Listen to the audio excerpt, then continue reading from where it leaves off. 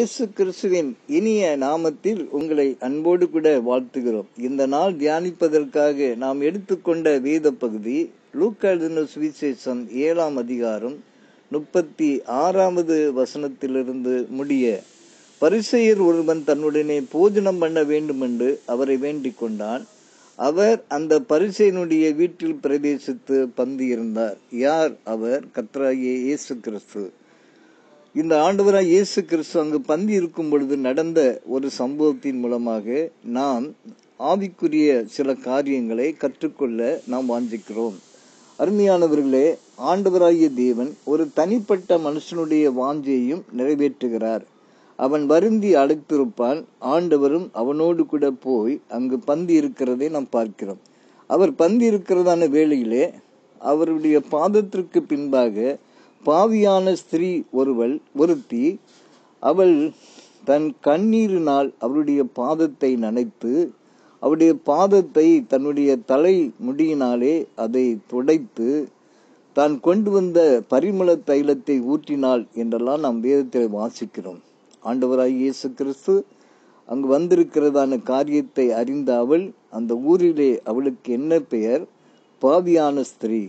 பாவியான ஸ்திரீ என்று அழைக்கப்படுகிற அவள் செய்த காரியம் இது நம்முடைய ஆவிக்குரிய ஜீவியத்திலே நாம் ஒவ்வொரு கிறிஸ்தவர்களும் கற்றுக்கொள்ள வேண்டிய காரியம்.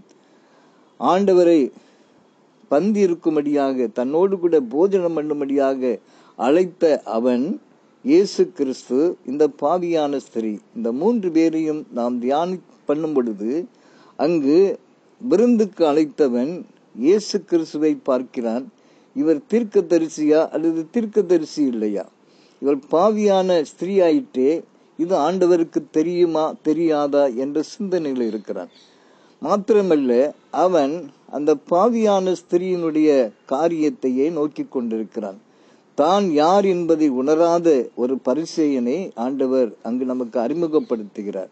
இந்த நாளிலும் கூட அநேக மக்கள் தங்களுடைய பாவத்தை உணராதபடி சுய நீதியில் இருக்கிற அநேக கிறிஸ்தவர்களை நாம் பார்க்கிறோம். நாம் செய்கிறதான தானம் தர்மம் ஒழுங்காக ஆலயத்திற்கு போகிறேன் ஒழுங்காக காணிக்கை கொடுக்கிறேன் இன்னுமாக ஊழியத்தை தாங்குகிறேன் என்றெல்லாம் சொல்லி தன்னுடைய பாவத்தை உணராதபடி ஆண்டவருடைய பிள்ளைகளாக அவர்கள் வாழ்ந்து அவர்கள் பேர் பிரஸ்தாபத்திற்காக கிறிஸ்தவர்களாய் வாழ்ந்து கொண்டிருக்கிற ஒரு மக்களை நாம் பார்க்கிறோம். இங்கு ஒரு பாவியான ஸ்திரீ அவள் என்ன செய்கிறாள்? இயேசு கிறிஸ்து எப்படிப்பட்டவர் என்பதை அறிந்து அவள் தன்னுடைய பாவத்தை உணர்ந்து அவள் கண்ணீர் சிந்தி இயேசு கிறிஸ்தனுடைய பாதத்தை அவள் நினைக்கிறதை பார்க்கிறோம். ஆம் அருமையானவர்களே சுவிசேஷத்தை சொல்கிற பாதங்கள் மலையின் மேல் எவ்வளவு அழகாக இருக்கிறது என்று சொன்ன அந்த பூசி படிந்த அந்த பாதத்தை அவள் முத்தம் செய்கிறதை பார்க்கிறோம். எவ்வளவு மனம் உடைந்து அவள் கண்ணீரை சிந்தி அவருடைய பாதத்திலே தன்னுடைய இருதயத்தை ஊற்றி அவள் நின்று கொண்டிருக்கிற காட்சியை பார்க்கும் பொழுது என்று ஒவ்வொரு கிறிஸ்தவர்களும் தங்களுடைய நிலைமையை உணர்ந்து சரியான ஒரு சந்தர்ப்பத்தை பயன்படுத்தின அந்த பாவியான ஸ்திரியைப் போல நாமும் ஆண்டவருடைய சமூகத்திலே நீடிய பொறுமையோடு கூட இருக்கிற ஆண்டவருடைய சமூகத்திலே நம்முடைய பாவங்களை அறிக்கை செய்து நம்முடைய அக்கிரமத்திற்காக மன்னிப்பு கேட்டு அவரை நாம் முத்தம் செய்கிறதான அனுபவத்துக்கு நேராய் அல்லவா நாம் கடந்து வர வேண்டும். ஆகவே இக்காலத்திலே மனம் திரும்பதின் பிரசங்கமும் குறைந்து கொண்டிருக்கிறது.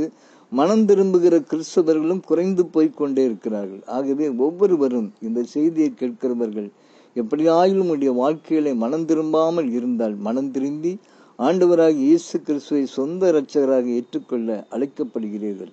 நாம் மற்றவர்களை பாராதபடி மற்றவர்களுடைய குற்றங்களை பாராதபடி மற்றவருடைய கண்களில் இருக்கிறதான தூசியை எடுத்து போட வகித்திடாதபடி நம்மை நாமே ஆராய்ந்து பார்த்து நான் யார் என்பதை அறிந்து கொண்டு எவ்விதமாக அப்போசனாகிய பவுல் தன்னை ஒரு பிரதான பாவி என்று சொல்லி அவர் தீவிரமாக ஊழியத்தை செய்தது போல நீங்களும் நானும் ஆண்டுடைய பிள்ளையும் நாம் யார் என்பதை கண்டு நாம் நம்முடைய பாவங்களை அறிக்கை செய்து பரிசுத்தமாய் வாழ்ந்து அநேக பிள்ளைகளை இயேசுனிடத்தில் கொண்டு வர நாம் அழைக்கப்படுகிறோம்.